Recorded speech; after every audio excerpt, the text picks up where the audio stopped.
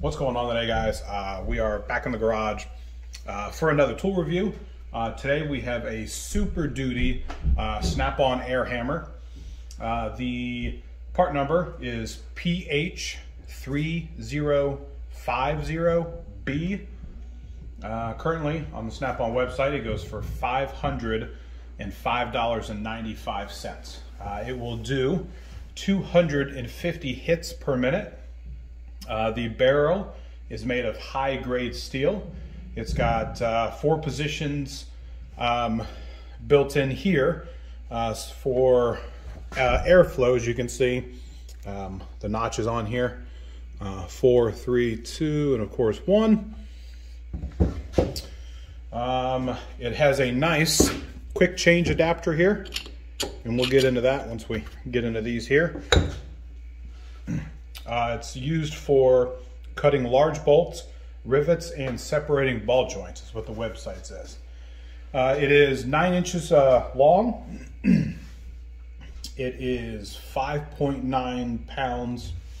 So it's a, a, nice hefty tool here. Uh, it is made in the USA. It does come with a nice two-year warranty, uh, which is nice because a lot of the uh, Snap-on air tools only have a one-year warranty. So it allows uh, 2.1 uh, CFM, which is the amount of airflow that you can have in it.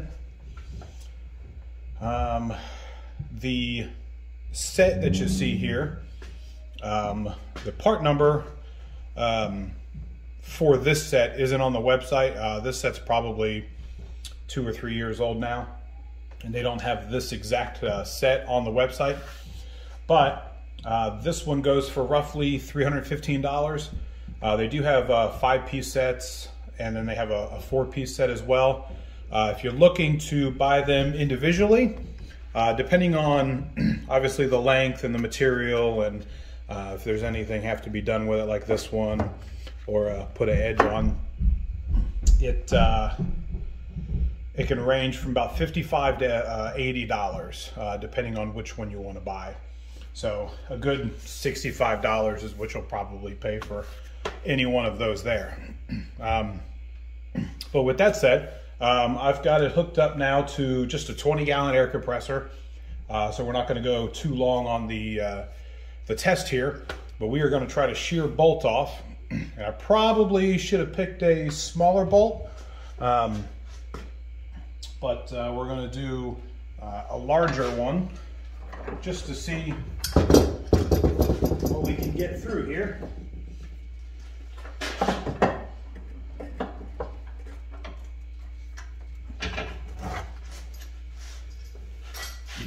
So let's uh, let's see what we got.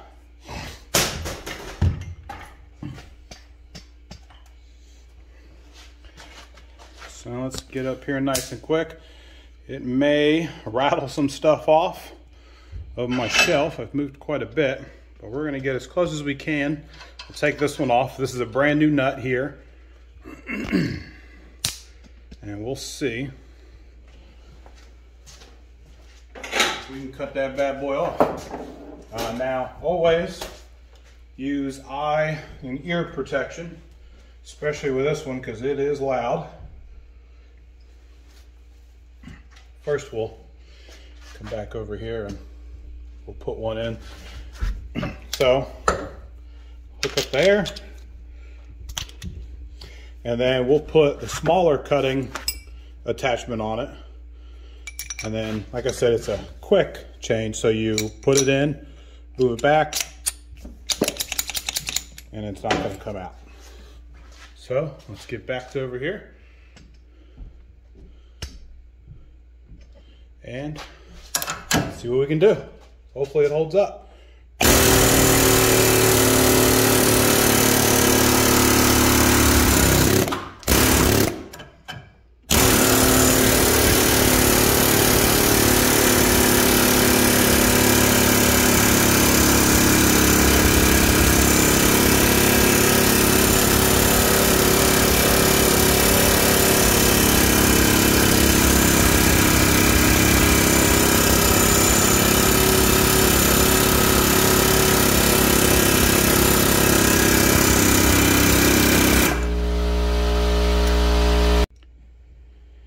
as you can see here, uh, it did a little bit of damage. See if we can get in there real quick. As you can see there, it cut, uh, I don't know, maybe a fifth into it.